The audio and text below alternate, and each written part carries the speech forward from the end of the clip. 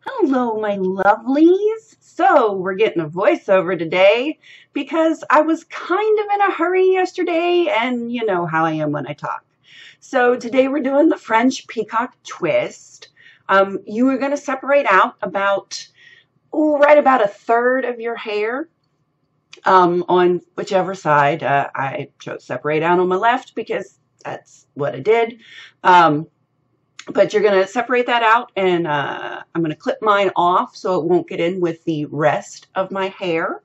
Uh, the reason I um, am doing this is I always loved a peacock twist when my hair was shorter, but of course now it's like super long and heavy and I can't really do one. I also love French twist, which I haven't been able to do in ages um, because, you know, I have way too much hair to do a French twist any longer. Uh, my hair is just too thick. You can do a French twist with really long hair, but you need to have finer hair. So any hoodles, uh, I was trying to figure out how to go about that, and I came up with this. So uh, with the other two-thirds of our hair, we will smooth, and we're going to smooth a lot. Uh, I did not do any cutaways of putting this up. So those of you who enjoy that, yay for you. Uh, this is me just fixing my hair. Um, yeah, so uh, what we're going to do is we need a bun under there. Originally, I was going to use JJJ's pretzel bun, but it simply just stuck up too far and it looked a little lumpy and weird. So I decided to start it sort of like a Cinnabon with the twist, as you see here. Yay, twistiness. But I needed it to lie a little flatter.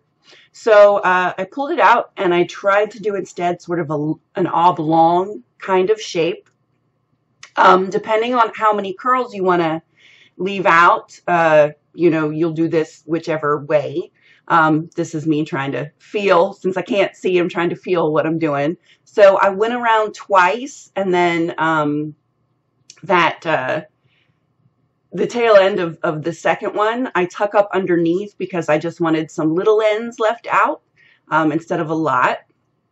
So here's what I've left out. Yay. Yep, that looks about right. I'm going to clip those to the front just so I don't have to worry about them while I pin. Um, I think I grab my mirror so I can make sure that it seems to be somewhat in the center of my head. Oh, nope, I'm just going to pin.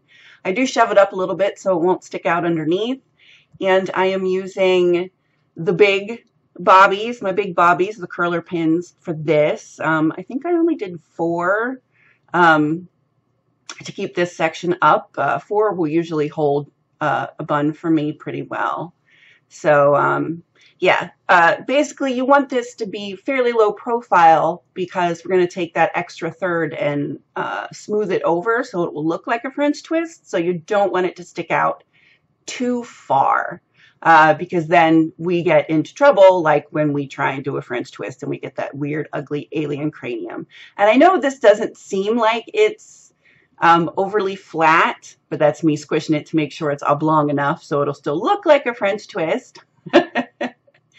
so then I take the hair that it, oh, like, hi, smile. Um, I take the hair that I wasn't using previously, and you want to make sure it's nice and smooth uh, because this, of course, will be the smoothness that we usually get from a French twist. Um, I'm sure I will brush it again. I don't think I realized how often I smooth. Um, I am apparently very OCD about things sometimes. So, um, any hoodles, yes, that's me. We're going to smooth it over. Uh, the bun that we have made in the back, which is basically just to eat up length so we can hide it. Um, and then we need to pin along the crease. Uh, yep, double checking. Yeah, it looks pretty good. See? Yeah, not too bad. Um, and since I know that I'm going to take the tail end of this um, and use it for decorative purposes, I do not have to worry about hiding my pins during this portion. So I just straight up pin them in a line up the crease. I think uh, two going up, and then we will have one where it uh, will be going uh, downwards, uh, pinning the top. I'm sure I struggled a little bit with, with that particular section. We will see. But uh, basically, my whole thing was, so then what do we do with this leftover hair that we have? Um, and I figured, uh, since it was based on a peacock twist, uh, that we would uh, make our hair sort of mimic the eyes of peacock feathers. I know they don't really look like that, but that's what's in my head, you guys, and I can't help where I get my inspiration from. So any hoodles, oh, there we go. I got one pinned down the top. Do we double check so you can see? Yay, good for me. See, just got it all pinned right there on the side. Um, it does look like a French twist from the other side, which is great. Um, so now what I'm going to do, where are you? Get back in frame. Oh, well, first I'm going to move these so it's not hanging directly in my face because, you know, that's annoying. Um, so all I'm going to do with uh, the tail we have left over is I'm going to do a, a tight, smooth twist. Um, and we're going to do rolls with it. Um, think of them as uh, like the beginnings of tiny Cinnabons or what have you. So I am rolling it towards my face and then um, when I go to do the loops, I think they actually go backwards. Yes, they go backwards so that it will stay coiled as such. And for each one of these, I try and do two. Like go around uh, once and then bring it back up for the second time, and then you have to pin everything in. Now, to pin this section, I am using Amish hairpins, uh, U-pins, the straight ones because they are my preference. Uh, the crinkly ones tend to work themselves out of my hair for some reason. And when I put these in, um, I think each one of these had two to three. Um, I went to start again, but realized I needed to be anchored at the top on that one. Uh, when I put these pins in, I, I am weaving them like you would a hair stick to make sure that they will hold my hair and stay in. Uh, the hardest part of this is remembering which way you were twirling, but always twirl towards your face and then wrap in a circle uh, starting backwards. I guess that would be the best way to describe it. So basically, I end up with three of these. Um, here's the other one.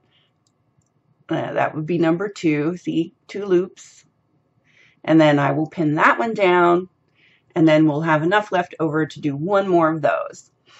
Now, uh, after you get all of those pinned, you have your hair in the front. If you do not want to curl it like I am going to do, you can just use that and finish making loops to go over the front of this. Um, and then it will just all be on one side because there's enough left to do maybe one more loop. Uh, two if you split that remaining hair in half and do, you know, two separate loops. But uh, I, since I was, of course, inspired and trying to figure out how to do a peacock twist nowadays, I decided I was going to curl mine so that I would have the, you know, the fall part of the hair you leave out. You don't even have to curl it, I guess. You can just, you know, let it spring, but I ended up going with curls. Here we are, pinning the ends. Uh, the final bit of that uh, leftover hair on that side. Um, yeah, the thing when you have really long hair is you always have leftover hair when you try and do other things. so you have to come up with creative ways, which, you know, rather than shoving flowers in your hair, you just make decorative little things with the hair you have left over. Um, it works pretty well. Hope I will get over into frame here in a second. This is me checking things out and then realizing, oh yeah, might want to get framed Torrin. So there you go. That's what that looks like, um, which I think is really actually very pretty. Um, and you, you see from this side, it totally looks like a French twist. Um, and now I'm telling you, oh, this bit that's left over, I'm going to curl these with my curling wand, um, which I did with the smallest barrel I have.